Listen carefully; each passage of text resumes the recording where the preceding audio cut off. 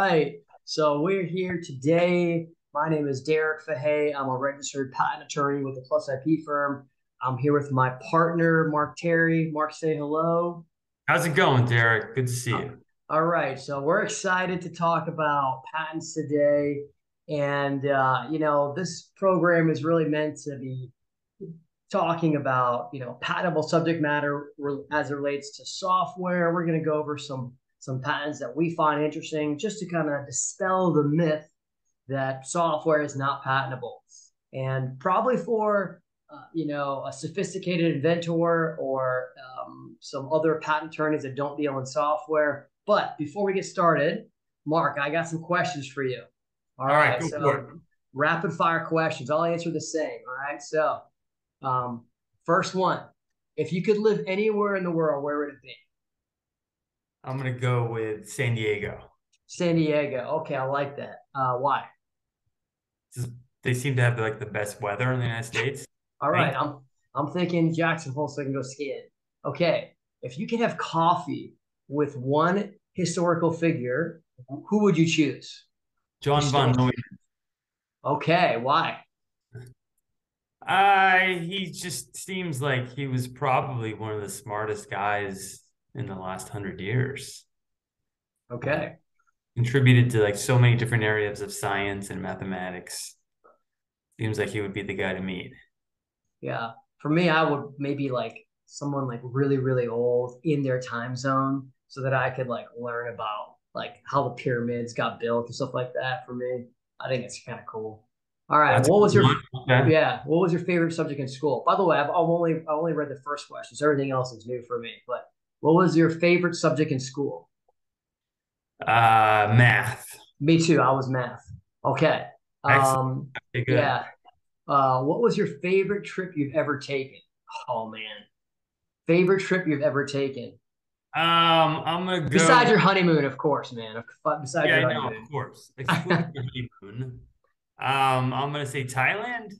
That was an awesome trip for you. Um, my honeymoon was pretty dope. I went to the Maldives. Um, but uh, I kind of want to say Thailand too, man. I tried backpacking over Asia after college for like four months. It was unbelievable. Um, okay. Um, if you won $10 million tomorrow, what will you spend it on? $10 million. I'm going to go with a super high powered telescope. Wow. Oh, man.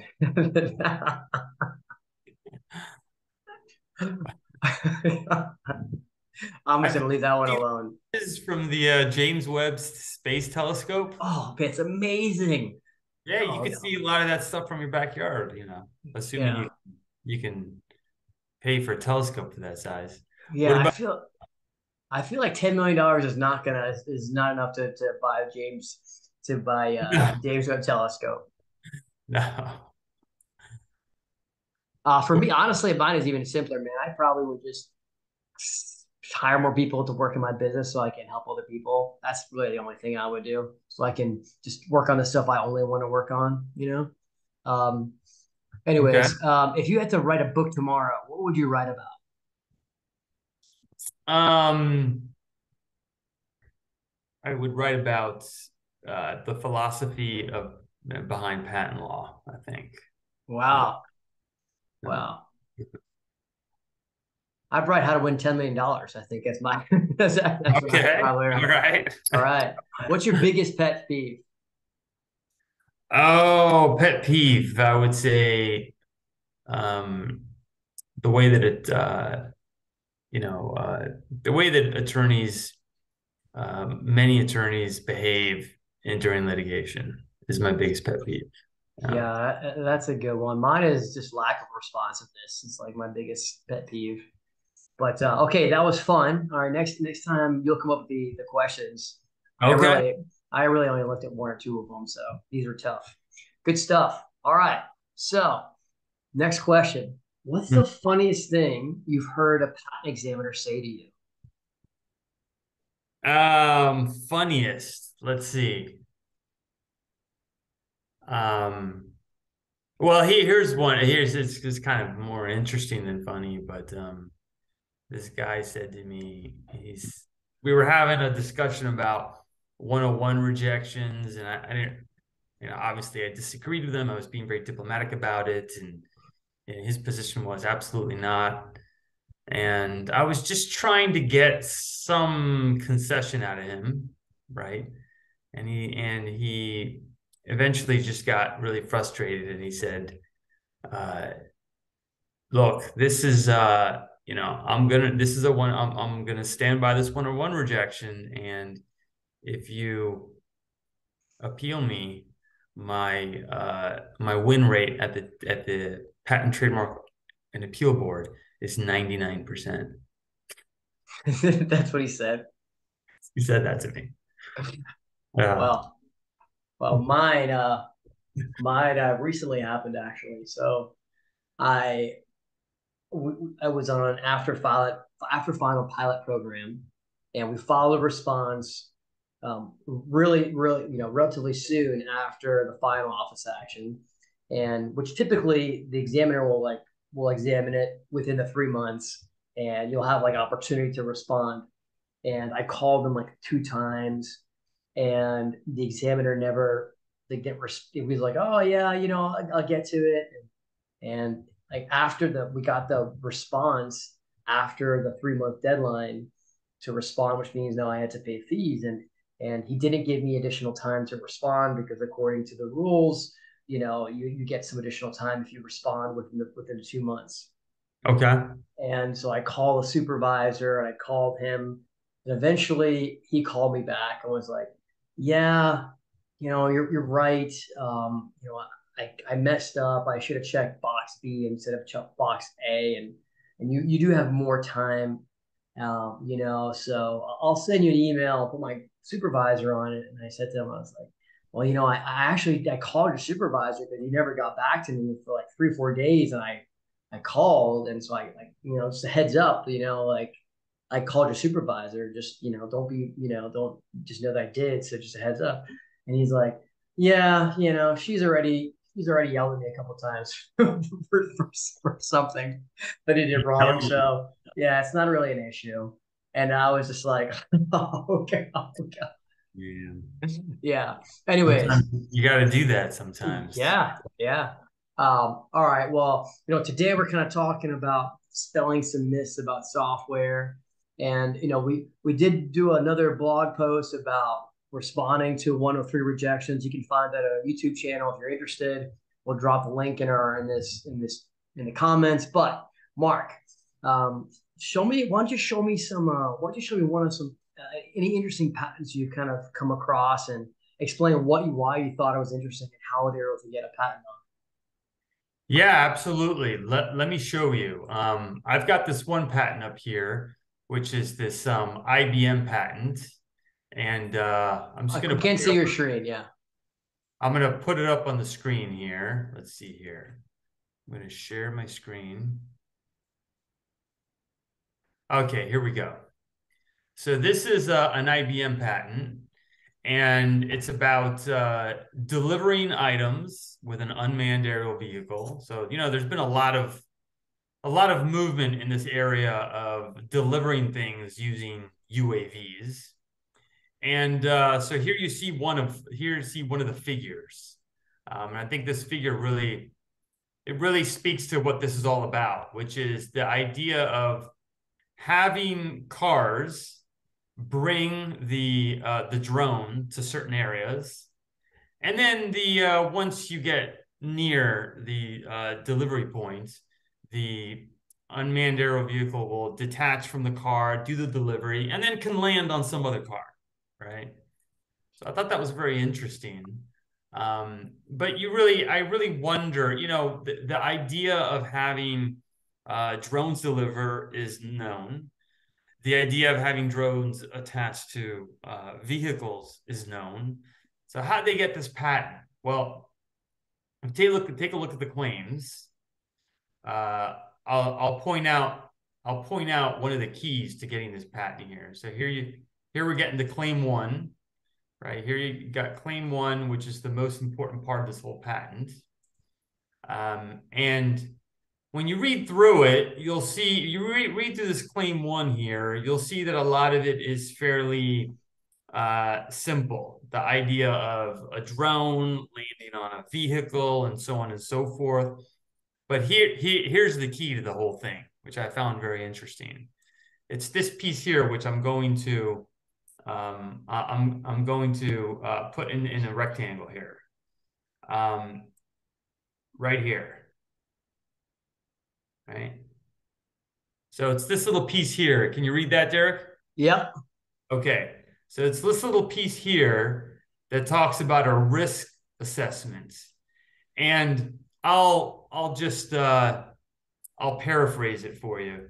It's basically a method by which uh, the device will the the system will determine whether or not there's some sort of a, a risk associated with the coupling so that if there's uh, let's just say there's some high winds or maybe the car is swerving and this connection between the uh, the drone in the car is somehow compromised. It's going to fall off or it's just not it's not connecting properly. You've got a little program that's constantly running and that's looking at that. And if it determines there's too much risk it just immediately detaches and flies away. But that was interesting. Yeah that's pretty cool. That's pretty cool. Yeah. Um, i got one for you um, okay. This one is actually, I use this one a lot to talk about user interfaces and how it can be patentable. Let me show you my screen here. Hold on a second. This is actually one of the patents that, you know, the Tinder app, like when you swipe right, swipe right, swipe mm-hmm. right, swipe left if for a dating app. Um, I thought it was kind of cool. I use, I actually use arguments. Can you guys see my, you see my screen? Yep. Okay, cool. So this is actually a, a patent that was in litigation between um, Tinder, which is owned by Match Group, and uh, Bumble. And if you can see, you know, here's the interface and uh, the different interfaces, and uh, you, you, can see how you know swipe right. Nope, that's swipe left. Right, you don't want this person, or and swipe right, it's a match.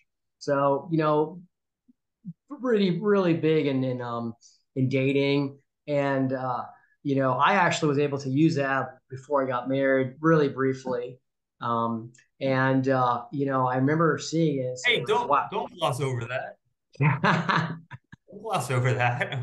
yeah, but yeah, all right. Well, okay. We'll yeah, okay. Well, we'll edit that one out. Okay, but what I thought was amazing was how people it just you know dating dating apps became cool, right? It was like before you know there's always dating websites and you can go on like Match.com and eHarmony everybody was like using it, but it became cool to swipe right and swipe left. And, you know, you hear all the funny jokes about people just swiping right, like going through hundreds of profiles at one time.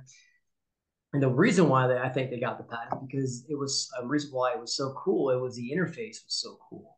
And um, the arguments that are, that, well, I'll show you the parts of the claims. The claim section is here, right?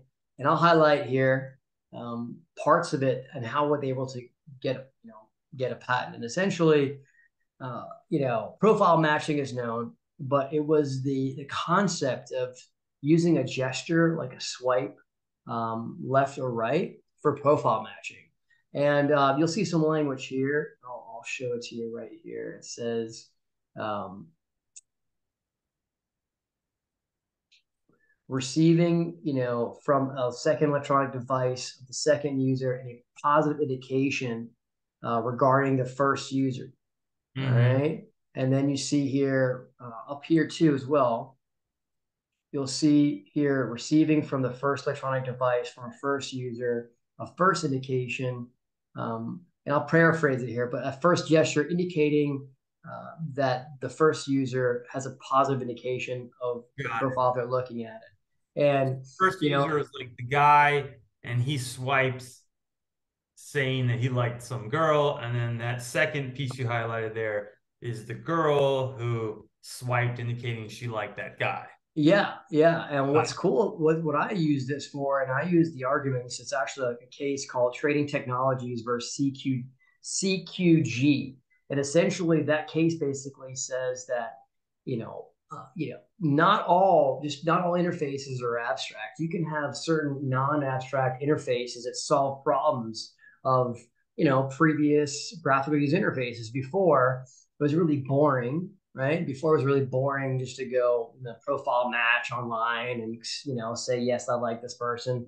Now you have this cool software that allows you to select and profile match by swiping left and swiping right.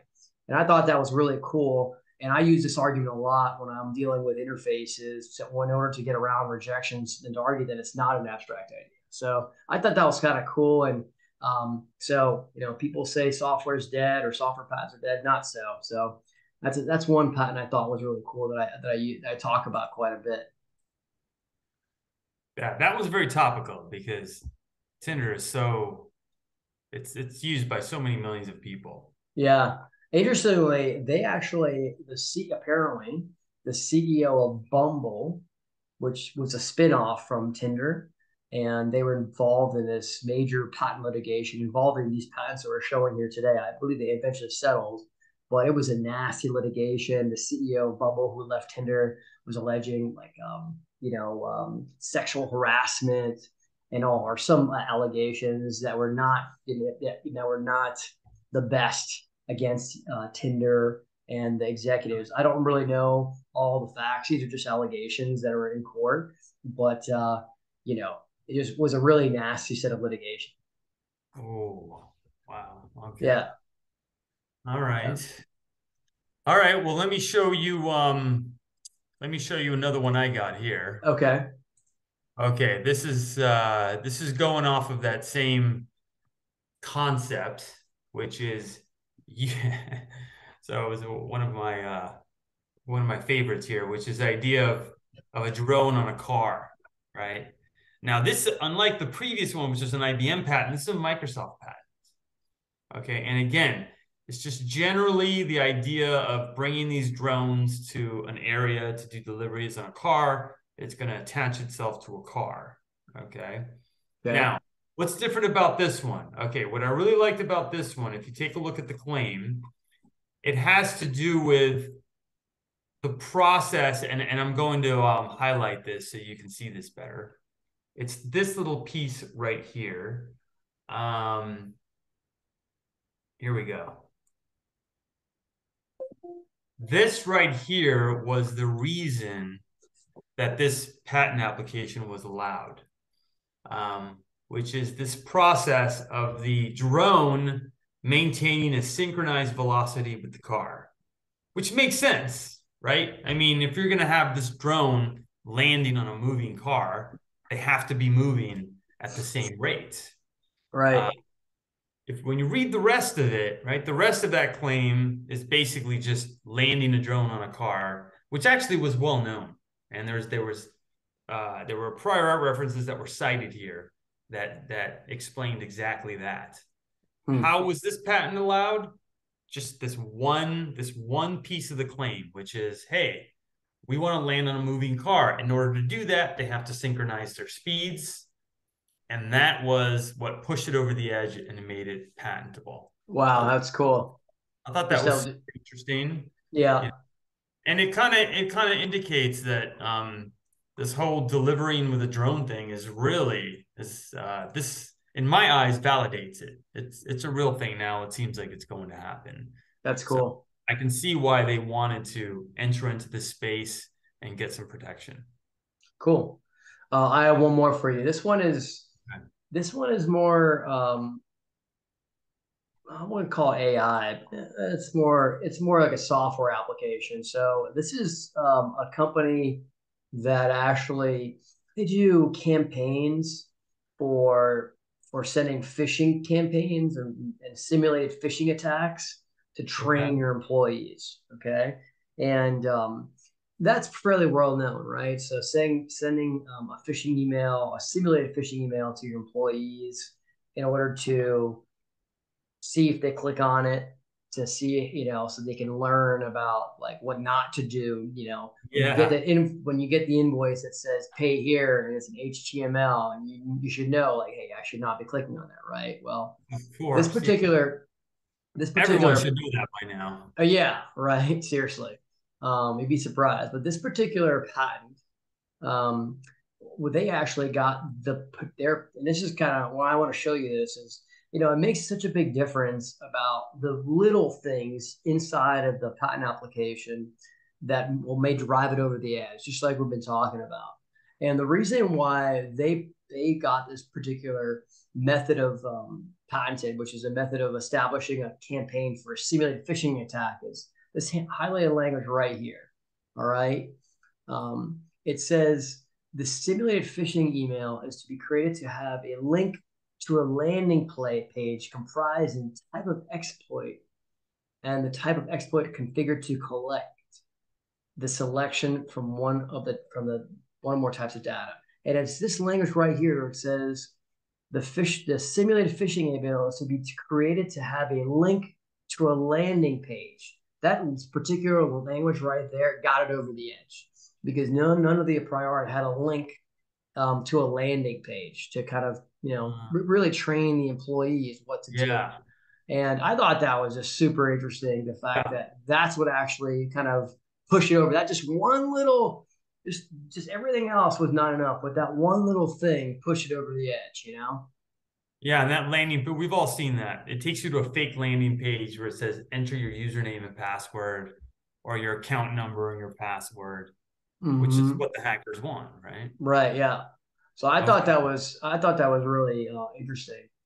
Yeah, it's interesting because um, because it seems so simple, right? I mean, everyone knows that's what these fake phishing landing pages have, right? They have mm-hmm. right some text field that makes it look like it's like the Microsoft login, but it's really not. Um, and then prompts you to enter in your username and password. Yeah. Um, for the undiscerning reader, right? Yeah, I just thought that was so interesting. Um, it's just that one little, this one little, you know. And again, it's not the, the fact that it's it's a phishing email. It's it's this whole system for an IT manager in order to set up their phishing email campaign. And that phishing email campaign has a simulated email that has a landing page you know, that collects data. I just thought that was so, so interesting. And and yeah. I've used similar techniques, you know, talking about those little things to get you over the hump to get a software patent, you know? Yeah, yeah. yeah. Okay. And I've got one last one here for you. Okay. Let's see here. I go to the first page of this patent. Okay. Let me share my screen.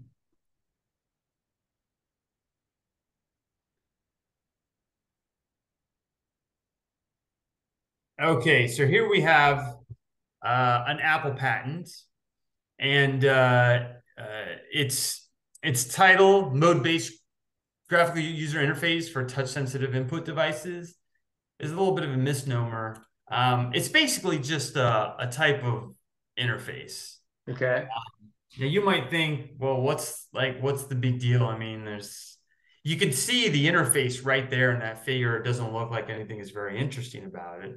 Yeah. You know, scrolling, you got cells, you've got um, scroll wheels, and so on and so forth. But if we go to the claim, I want to show you here what I thought was very interesting about this uh, about this patent, and and again touching on this on this uh, the theme of getting you know what it took to get these patents.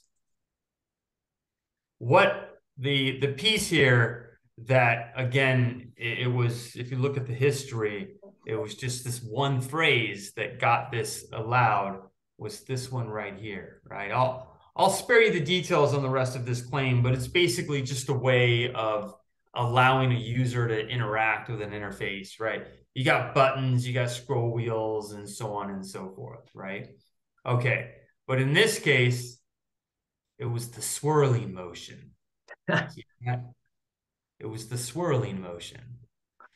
So the user creates this swirling motion, and then this program converts that swirling motion that's detected over the um, virtual scroll wheel um, okay. into serial movements.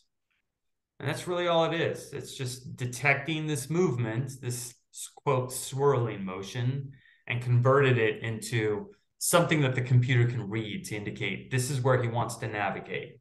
Yeah. you would think that every you would have thought that any type of gesture or emotion on an interface would have gotten covered already or yeah. would be considered would be considered well known. Not but swirling. Something as simple as that was is what um, allowed Apple to get this patent. Yeah. So um, again, it's not rocket scientists. I mean, it's not rocket science. I mean, you're just making a scrolling motion with your finger, and the interface is reading it. Yeah, that's pretty cool.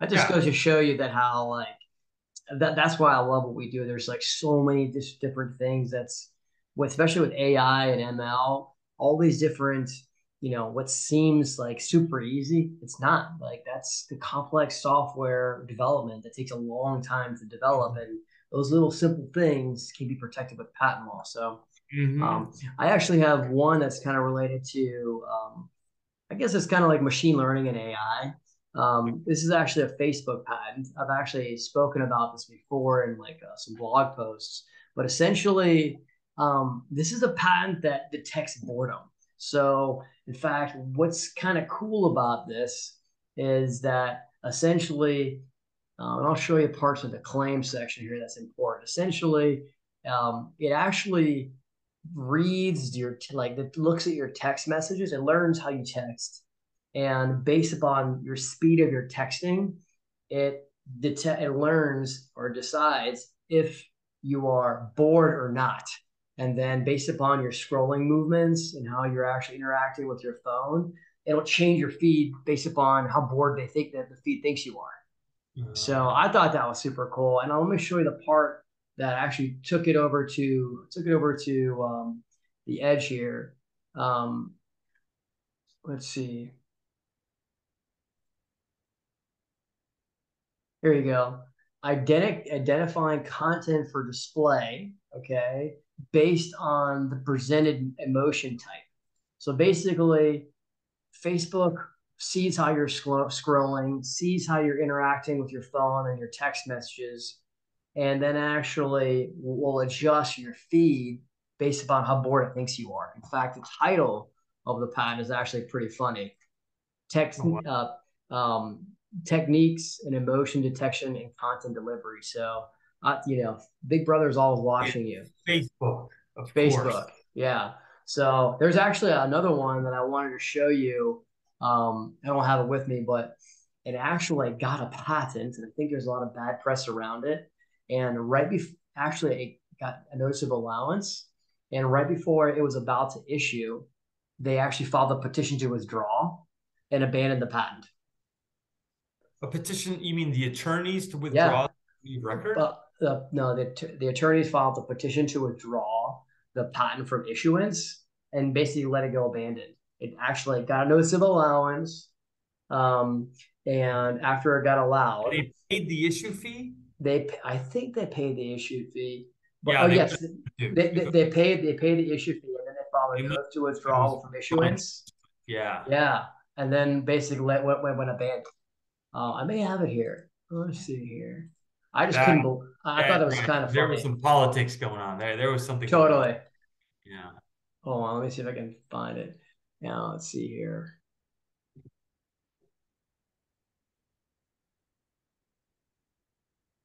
Yeah, there you go. There it is right here. Well, the last one I'll share with you here. Augmenting text messages with emotion information. Right. So here you go it it looks to see how oh, you uh, Facebook, huh? Yeah, Facebook. Yeah, they see how you're how slow you're typing, so they can see if you're if you're like you know if you're drunk or not, and if you're typing really slow, you may be intoxicated. And I thought it was really interesting. And then it actually looked at the prosecution history for this application. They withdrew it from um, from issuance. I thought it was kind of fun. Hmm. It would have been interesting. I, I would have I would have liked to see what the uh you know, I wish there was some sort of record indicating why it is they withdrew it. I don't I don't think they have to give the record, I think. But here here you go. It says so it says predicting an emotion of the user based upon the characteristics of the input. All right. And then formatting a text message based upon the predicted emotion. So Based you're on emotion. Okay. yeah, so if like if you're really typing really fast and really angry, they may give you like a slam look, you know. So Um, it's the so it's basically so it, but it just says formatting. It yeah, formatting, right? Yep. So I'll, I'll give I'll show some of the examples. I think they actually show it where it's like, you know, let's see here. Um, here we go. Can you give me a ride? Can you see this a little bit? Yeah, this. see that. So here in the example, um, like, can you give me a ride home? If you read the application, see how it's kind of funny?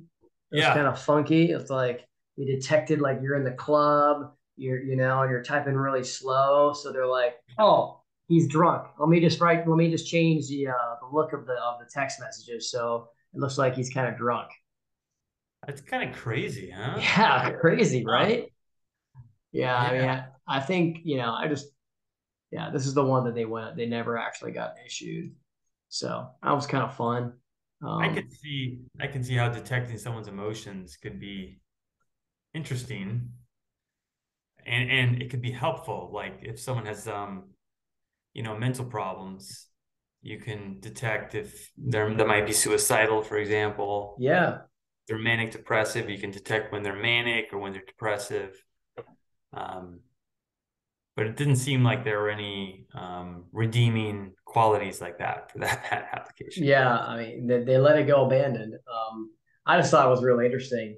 Uh, if you if you Google Facebook weird or creepy patents, there's tons of them that just pop up and you can and you can see it. But the reason why I want to talk about this one in particular is you know this is this is this is machine learning and AI, right? So text you have a set of uh, information that you store in a database, and then based upon an algorithm, you know, it keeps on learning you Right. know, based upon you, the input and then, you know, predicts future outcomes.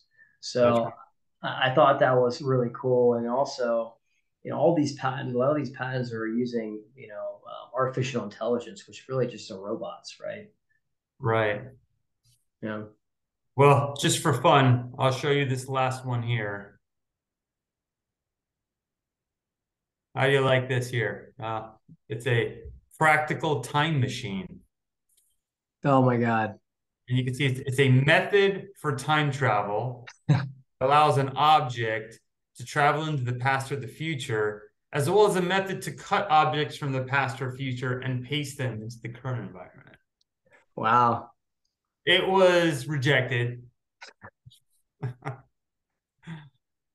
That's awesome. Yeah, it's uh, it's really too bad. I think there could have been a lot, of really good applications for that. Yeah. Well, we'll wrap this up with um, what maybe you can just give, you know, inventors and other attorneys that don't do a lot of software. What's one piece of advice that you can can maybe provide to them when you're, you know, when you're looking at something that that's a software related and you're trying to decide if it's patentable or not? What's one piece of advice you think you would give them? Yeah, the so a really common um, issue that I get um, with patent applications for software is just uh, the novelty of it. And a uh, the conversation I often have with those clients is, hey, there must be some step, some routine, some process that's going on at the back end that is new and different, right? There must be. Um, and we we often find something. So to give you some examples from the patents we are just looking at, you know, just land, landing that drone on the car, that's well known. But that that one piece that was different was the fact that hey, now there's a little program that synchronizes their speed. You know, um, you know, so, so I always tell clients, hey, that, in order to accomplish what you're accomplishing with the software, I'm sure you did something. There was some little piece there, some little step that's new and different. If we did a search, we wouldn't find that one step in the, in the patent database. And that's the key to getting it allowed. Yeah, that's great advice. Um, another one I like to give um, along the same lines, quite honestly, is, and we've talked about about this before. You know, the one-oh-one rejections, the 35 USC one-oh-one rejections. Um, a lot of times, it comes down to you know making the argument that hey listen you know this is actually finding something new that's not obvious to get around that one-oh-one rejection so to the to your to your point about the um, the drone patent, just find that one little piece that hasn't been done before to get around those one-oh-one rejections that are so common for yeah. for, for software patent applications. I think is um, you know is what I would say to maybe another attorney that's looking to try to figure out how to get around this one-on-one oh rejections. Because to the untrained eye, I feel like they're they, they can be a bit overwhelming when you look at a one-on-one oh rejection for the first time. Yeah.